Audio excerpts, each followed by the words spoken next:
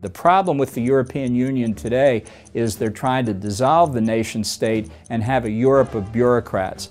That kind of approach is wrong for the United States domestically, it's wrong for the people of Europe. And there may be plenty of people around the world who would like to see Europe come apart because they misunderstand what the nature of collective defense is.